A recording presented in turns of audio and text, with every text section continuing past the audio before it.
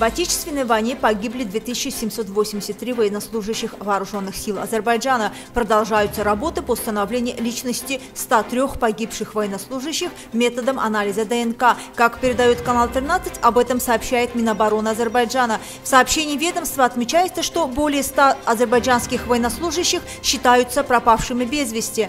Принимаются необходимые меры для их обнаружения и информирования их семей. В настоящее время в медицинских учреждениях находится на лечении 1245 раненых военнослужащих. Общественность страны будет в ближайшее время подробно проинформирована об именах, возрасте, званиях и боевом пути погибших. Комиссия, состоящая из сотрудников соответствующих государственных структур, работает в этом направлении, указано в сообщении.